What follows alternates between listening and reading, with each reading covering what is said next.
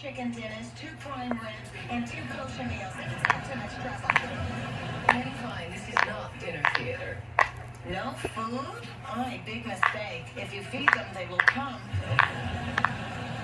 Well, if your relatives won't come without a feedback, I'll be happy to give them their money back and sell their tickets on the street. I'll drop you off at your usual corner.